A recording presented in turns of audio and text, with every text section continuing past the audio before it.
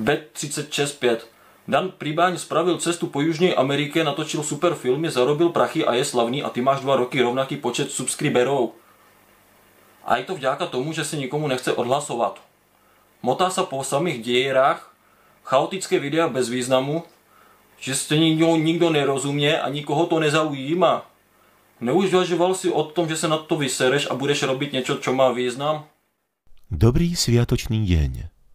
Na rádiu SS, Slobodné Slovensko, si dnes môžete počuť príhovor nášho vodcu pána Fero Kokodlepku. Čo? Kde to je? No tak ty kokot, tak mi to... A tu na. A do toho mám hovoriť? A do toho mám hovoriť. Pohodě to. Dobrý. A že co mám pro to udělat, říkám. Byla jsi někdy na mojí přednášce? Ne. Kurňa, proč po mě chceš radu? Na moji přednášku. Já ty přednášky dělám proto, protože když tam jdeš osobně, tak tě to nákopne. Když dostaneš takovou inspiraci, a to je ta strašně důležitá věc. Já jsem za poslední dva roky byl na 20 seminářích třeba. Druhých lidí. Druhých lidí. Protože jdu na Takže zdarec ranec, zdravím všechny cestovatele. Vítá vás motivační čávo. A.k.a. kluk z vesnice. A.k.a. motivační pytel. Ne, já se podívám, jestli se to natáčí, kurva.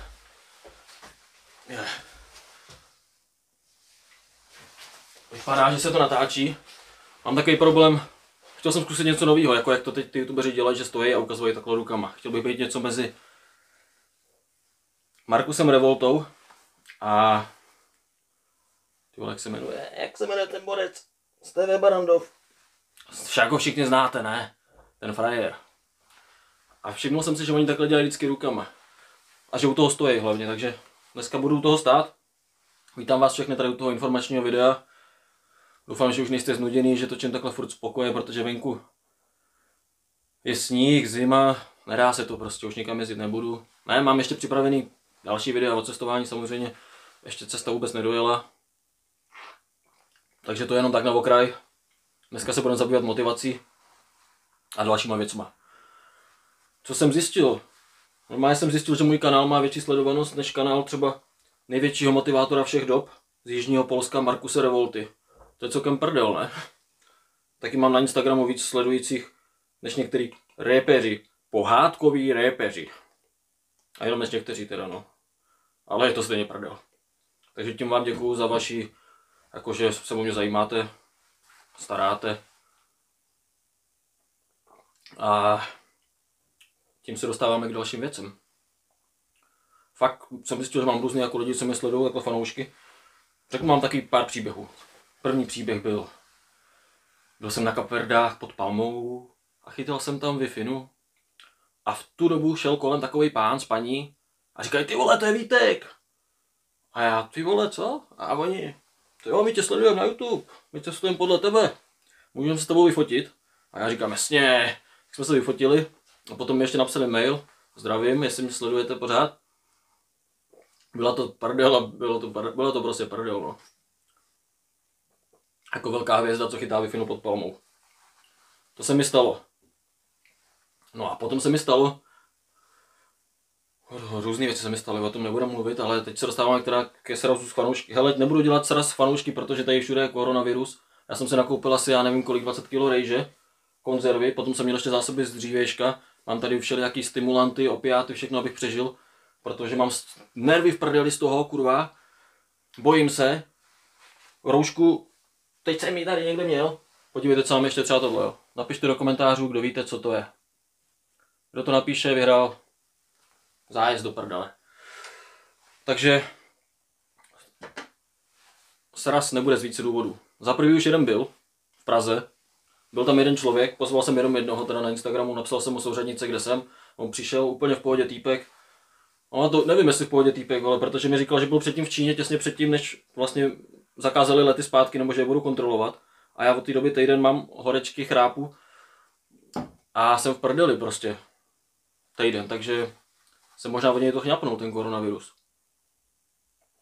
No ale jinak jsme pokecali tak jako o různých tématech životně důležitých.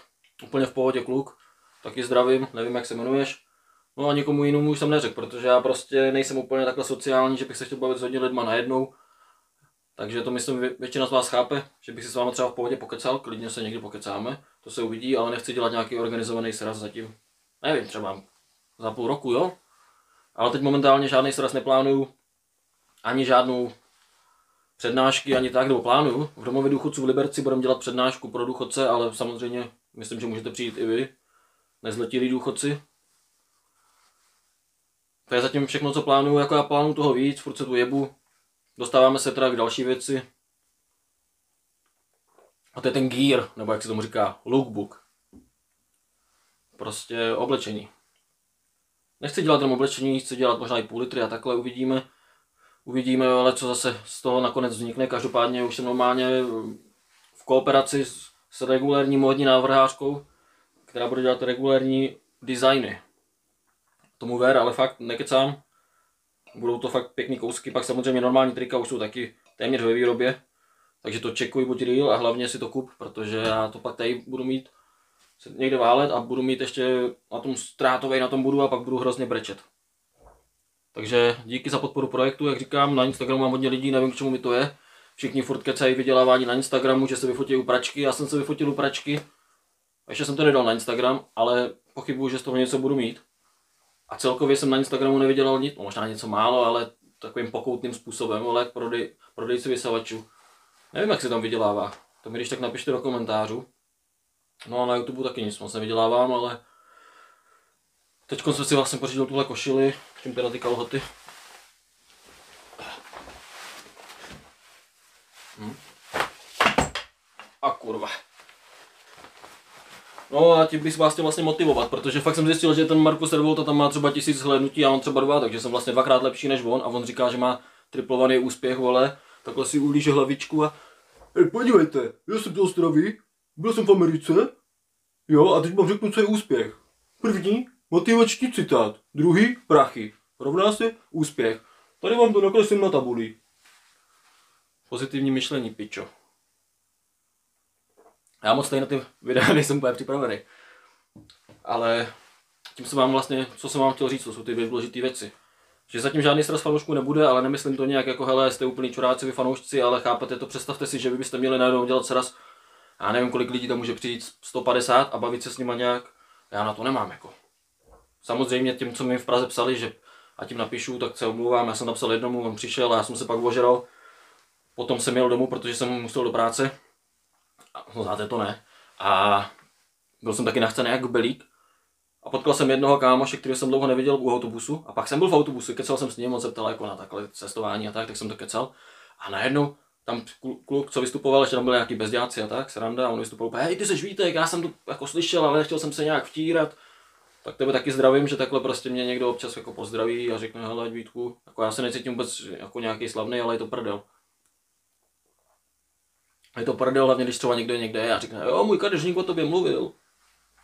Jaký jsi frajer, vole. Přitom jsi pičus. Říkám, no jsem pičus, ale tak musíš to umět prodat, ne? Vezmeš košili, řekneš dvakrát úspěch, jednou motivace a už máš na půl vyhráno. Jinak ještě někdo mi psal, předtím, ať mu přivezu mate. A já vás, různí lidi mi píšou na Instagram různé věci, jenže já to nemůžu, já se to i snažím občas číst, já to většinou čtu, když jsem ožralý a potom to zapomenu, i se vám snažím odpovídat. Ale třeba někdy máme spolu už něco rozmyšleného. Třeba mi prosím napiš ty, jak jsem ti poslal tu venezuelskou bundu, protože jsem ti ji poslal asi před týdnem. Normálně na, do, na dobírku. Na dobírku, pič, na dobírku ne, vole. Já jsem to zaplatil, ale doporučuji. A samozřejmě jsem ty papíry od toho ztratil, takže jestli někdo ztratil, tak to je Česká pošta a jsme v prdeli. Takže třeba jsem takhle někomu poslal poštu a zároveň mi lidi píšou, třeba někdo mi napsal na Instagramu, že mi pomůže, že mi dělá zámečníka a svářeče a že by mi svařil zahrádku na malucha nebo takovýhle pomoci. Toho si samozřejmě vážím, že jste na mě takhle hodný. A já zároveň třeba ten, kdo chce to mate, kdo mi to psal jako první už v Brazílii, tak já mám ještě asi tři pytle toho. Pak mi někdo psal, jaký tu v Čechách se dá nejlepší koupit mate. Já nevím. Já teď piju tohle suave, to je jako jemný a to je fakt dobrý. Protože ty tvrdý to ti odpálí palici. Záleží, jak jsi zvyklý, jak jsi už závislý. Já to piju jako ne pravidelně, ale docela jsem se na to zvyk. Tohle je fakt výborný. Ale v těch značkách já se nevyznám, no. Taky mi to dojde potom. No, takže tohle je asi pro dnešek všechno, celá motivace moje. Já jsem toho chtěl říct hodně, ale zapomněl jsem to. Tak napište, jestli vás serou takovýhle krátký videa, kde jenom kecám, nebo že chcete. Samozřejmě prostě to se nedá zavděčit všem někdy. Asi čím víc videí, tím líp, protože lidi si můžou potom vybrat, ne? To je youtuberství. Ne, já teď už toho točit, teď si si dát zase trošku pauzičku a spíš tam pustím ty videa, které už mám předpřipravený. Udělám si takovou tvrdší pauzu, ale já spíš takhle testuju. Třeba tohleto je točený normálním Samsungem s tou normální kamerou, ne širokou uhlou. Mám to málo osvětlený, no. A zapomněl jsem máchat těma rukama. Já včera vysedal takový hovno, to byste nevěřili. A teď vůbec nevím. Oh, no, no, no, no. Jestli to má 10 minut, protože to je jako o tom jde, že bych dostal taky třeba, co vám řeknu.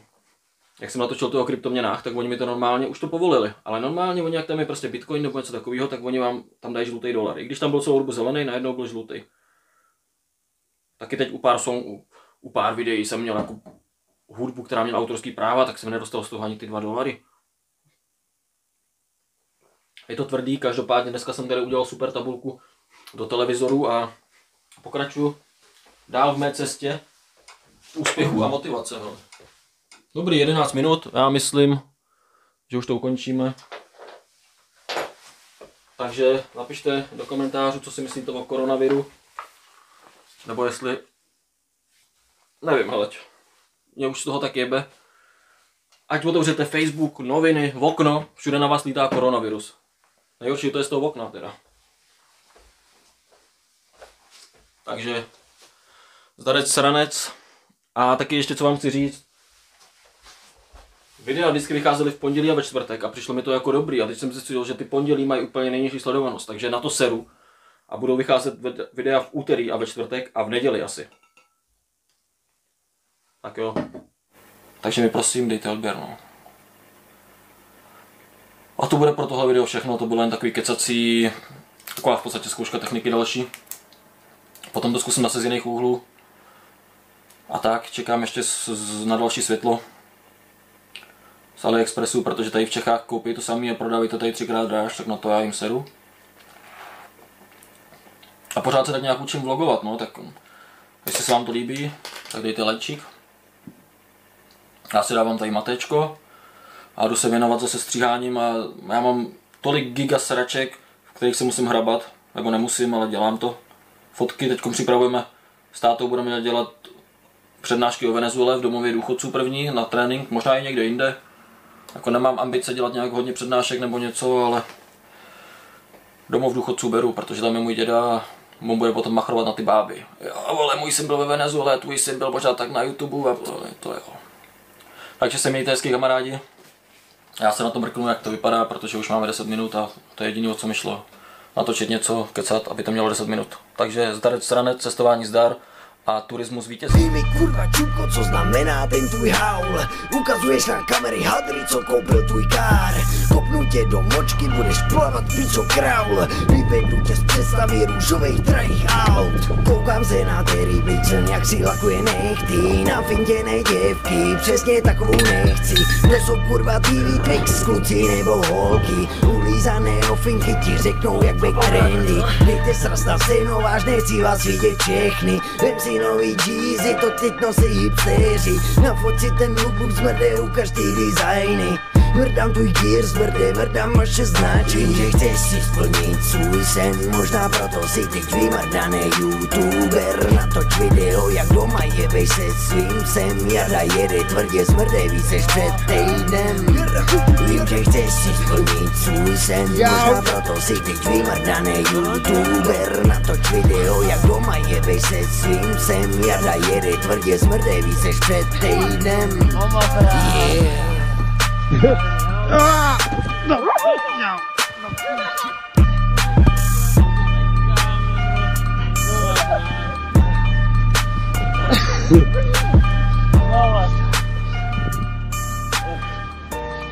Smrdí! Jo? Jsi dobrý, jo. Ty vole. Au.